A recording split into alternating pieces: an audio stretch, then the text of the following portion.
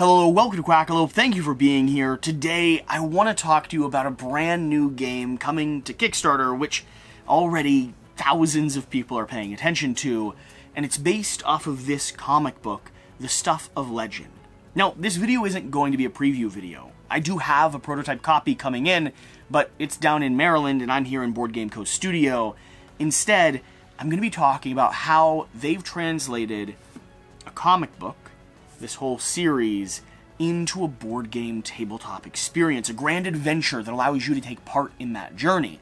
You see, this last weekend we were down at Gen Con where I had a chance to view, witness, and demo the stuff of legend. And they're doing some stuff really, really cool. Along with that, I picked up this book for the very first time ever and delved into the world of, well, the toys of this nightmare kind of closet experience. Basically, you take Toy Story and you flip it on its head and make it brutal and unimaginable. That's what you're getting here in this book.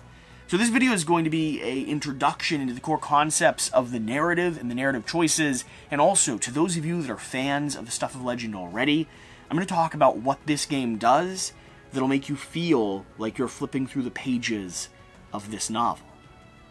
So, with that being said, the stuff of legend, the narrative, is going to be, and I'll do my best to be spoiler free, but the stuff of legend is going to be a exploration into the idea of lost toys. A narrative that you've seen other times, stuff like Toy Story, which I already referenced, but it's the idea of a young boy who slowly is growing out of the toys that he normally plays with. They're getting put into the closet, they're being left on shelves, they're not being engaged with the same way and they get tucked into the darkness, the forgotten, the lost land of toys, that children's movie with all the claymation figures that we all watched growing up. And the boogeyman, the darkness, the embodiment of this sort of nefarious creature that's willing to play with the toys even when they're left unloved and unplayed with by the boy, starts swelling into the ranks, gaining power with each toy that is left alone until finally the darkness is able to capture the boy. Capture his dog and the toys that he's still engaged with, the ones left up on his mantelpiece, have to journey into the closet and do their very best to rescue, well, their human. They want him back. That's the game you're playing. You're working together cooperatively to go through all of the different scenes and locations here in this book and explore them face the challenges and threats, go on this grand adventure, and work together as a team, each with your own personality and abilities and skills, and do your best to get the boy out of the darkness before it's too late. Before he's lost, or the boogeyman takes control and swallows everything. Here's the issue this novel does not pull punches. From betrayal to death to moments where you think everything's going to work out fine and then suddenly things fall apart. The stuff of legend is for mature audiences, right? Teenagers should be the people reading this book, not young children sitting down with the graphic novel.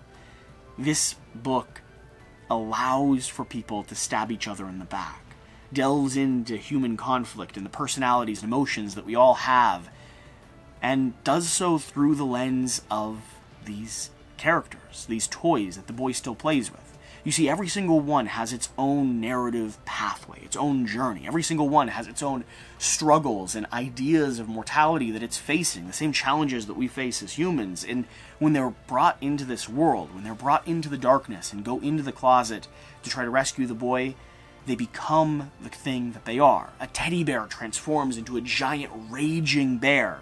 You have a pig, a little piggy bank, that turns into a pig in a dress suit and tie, I think. Or maybe he's naked. I'm not entirely sure. You have the sergeant or the general. You have the ballerina, the princess. You have a toy duck that you pull on a string that suddenly can scout and fly over the countryside.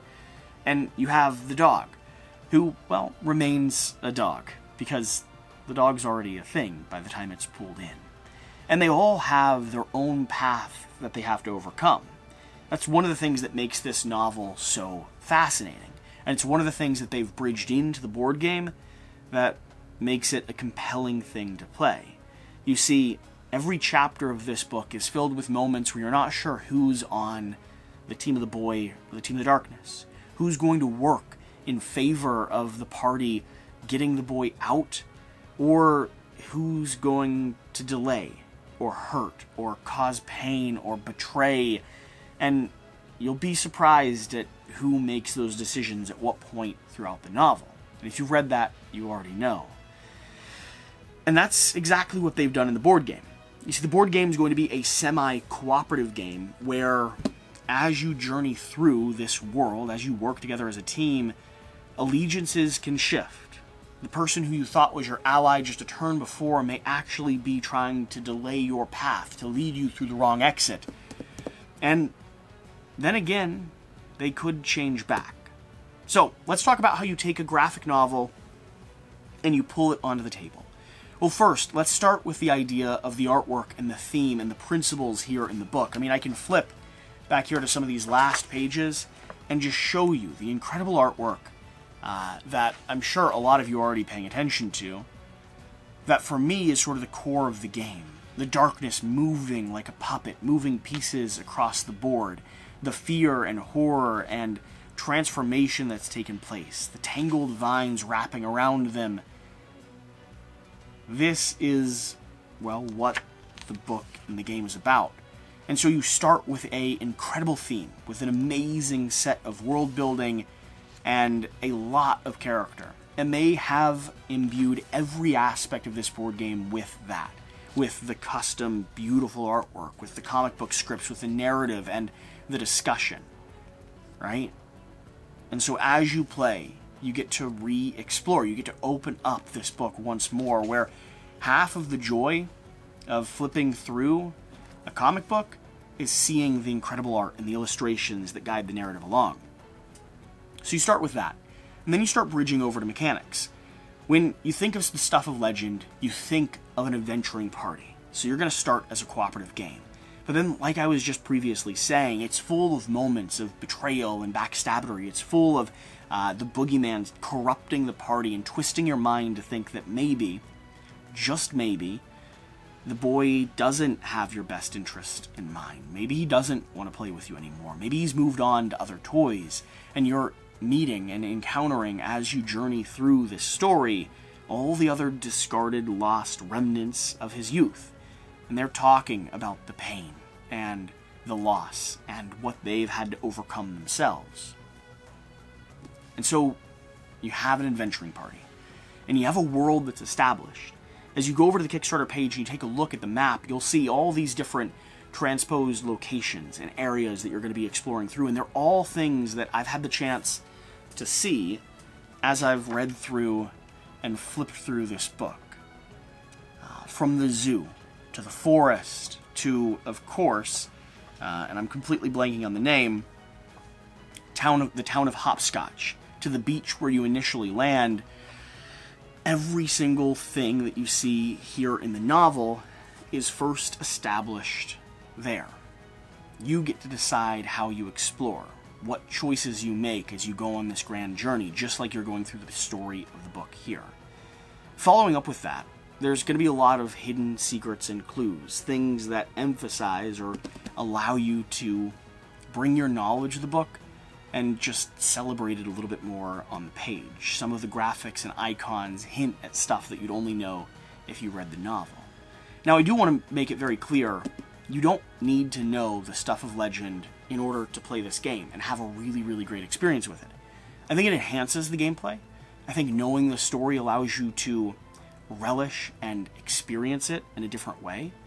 But I'd highly recommend the game even without the knowledge of the comic book in the first place. After all, that's where I came. I came not from the comic book, I came from the game to start with and read the comic book in response to it.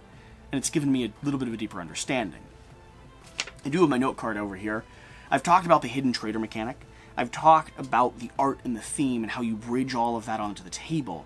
But they also have, from all these different towns, they have events and narrative choices, which are going to start emphasizing and reflecting the narrative choices that are made here. Hopscotch, a town of games and broken rules, is going to be a location where you're not quite sure what's going to happen. Who are you going to be facing off against? Is the mayor going to show up in your campaign? Are you going to have to fight and overcome and escape? Uh, will you end up, you know, in any of the different conundrums the squad finds themselves in as they journey through? So they've done that. They've established the nature of the game, they've established the puzzle that you're trying to solve. But then, how do you have a game that allows for shifting alliances, allows for that narrative, uh, semi cooperative experience? Well, you start off with a signifier. You start off with, first off, the general's rifle, which rotates around the game state, allowing you to break ties or make a decision on behalf of the team, a really essential part to this gameplay. And every time you utilize it, it moves from one player to another, always being the icon of are you working in our favor? The game also times and drives itself based off of the hand of cards you have, and through a cycle of discarding in order to do something good for your teammates. But every time you utilize your cards, every time you spend that resource, you're also escalating the game state. So you have this balance. You have all these different levers you can push, both as the good person and the bad person, in order to delay or drive. Discard a whole hand of good cards, but look someone in the eye and say, I'm doing this on your behalf. But what they don't know is you just skipped a whole round of the game. You just escalated. You just made the boogeyman act again, earlier, quicker, more ferociously than he would have otherwise. And finally, one of the cool things about this is in the comic, in the book, no one's loyalty is certain. Except for maybe the dog. Either way, no one's loyalty is certain. You can question everyone at every stage, and so there is this dance. There is this shifting puzzle as the boogeyman infects and questions and changes. And you can do that in this game as well. You see, there's cards that allow you to start changing or manipulating who you want to be. And there's a dead card always in play, a card that you could find out the information for to give yourself a little bit of an upper hand, but a card that may be the villain, allowing everyone to potentially be on the same team and still have these threads of distrust sewed within the fabric of what you're playing. When it comes to a semi cooperative game, it's a puzzle that establishes itself in a way that I, I don't typically enjoy. I don't love semi cooperative games, but because this one gives you so much agency over the way that that role ebbs and flows, and the way that you gain information and push the narrative to endgame, the way that even if someone is discovered early on, they can do some trickery with some of their cards, or they can swap out with that dead card, that role card that's always out of play, allowing them to say, oh no, guys, I'm on your team now. I've solved it. I promise. And everyone else has to make a decision. Do we trust them? Well, why not? Why wouldn't they? Or do we try to find out that information? Do we still act with deceit? And what do we do if we are proven right? What do we do if we're proven wrong? What have we just spent our energy and time doing? The way that it threads the narrative of who the hidden traitor might be and how that role can rotate as you play the game, making victory condition and win condition shift from point to point, it reflects so much the dynamic that the team, the group of friends has as they journey through the stuff of legend. Following back over here to the note card, I want to talk about the darkness card, and the boogeyman cards. You see, the boogeyman is always this growing force, and the more toys that are neglected, the more voices and people that he can get to his side, the more power he has over the boy and over the world itself, the more control he has. And that's true in this game as well. You start bringing that puzzle into a little AI system that operates and manages the time. You either don't escape or escape through the wrong exit, or, meaning you're trapped, the boy gets down and is lost in the darkness before you're able to rescue him and escape. If that happens, you've lost the game. Well, I was talking about the hand of cards you have. As you play through, you're cycling those cards out of your hand to do actions, to spend resources, to help opponents or hurt opponents, and or allies. And as you're doing that, you're driving endgame. You see, every time someone cycles through their hand of cards, they're going to be drawing a boogeyman card. And a boogeyman card has a status effect. Well, they're actually going to be flipping a coin first. And either the boy moves down or you draw a boogeyman card. And the Boogeyman card has a status effect, a highly thematic, world corrupting, or changing thing. swapping cards, shifting the boy down even faster, flipping the coin multiple times, discarding cards from your hand, all army men, all, all militia moving closer into your ranks, things just start falling apart. Add three event cards underneath the town or city location you're in, meaning you're to have to deal with a cacophony of opponents. And that feels accurate the more time you spend, the more deceit and narrative runs that happen, the game starts escalating beyond your control to the point where everyone could lose. You have to work as a team. You have to overcome the boogeyman, even though you know some of you may betray you. Even though there's a chance that someone may not be on your side, you have to continue journeying in together. So, it's the darkness and the boogeyman uh, track. Now let's talk about the different character abilities. Every character has a positive and negative trait to how they operate, which is true in the book as well. For instance, our friend the duck here. Courageous and loyal and brazen, with the ability to scout and fly over vast areas to see what threats are out there and prevent them from coming to you. And also, a bit hot headed, a bit too quick to act, a bit flustered when the time comes, when pressure mounts. And so there's consequences to that as well. An act of cycling through or discarding cards way too quickly. That's one of the really cool things about this. Every character has their own positives and negatives, and depending on who you're playing as is the team, you can really feel the type of dynamic you'd have when you're working through this story. As one character branches off, or different people are left to fend for themselves, you understand how this party would operate within that context, right? What if you're just traveling with the pig, the bear, and the dog? Well, that's a very different party than if you're traveling with the jester, the duck, and the princess.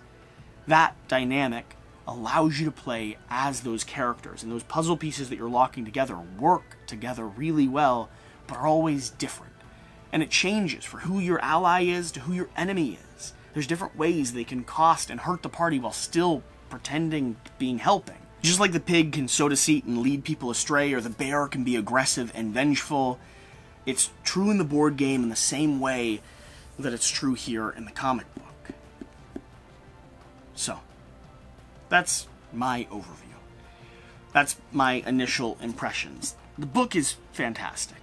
Uh, it is full of incredible artwork and story and adventure and well worth checking out. But I think the game does this grand adventure justice. It talks about and tells a story that is uh, epic in proportion. If you like that twist on Toy Story, if you like that twist on sort of a dystopian toy house, a group of unloved refugees, this will let you be that. So, we're going to be bringing gameplay to the channel here in about a week. Uh, I'm really excited to be able to get to the table and show it off. But for now, I just wanted to share. I wanted to talk about a book that I'd recently read and how I think they're doing it justice on the table. So, thank you for watching. Thank you for being here. Let me know if you're going to be swinging over and checking this one out or backing it. Whatever the case, whatever you do, remember to do the important thing. Get out and play some games. We'll see you next time. Thank you.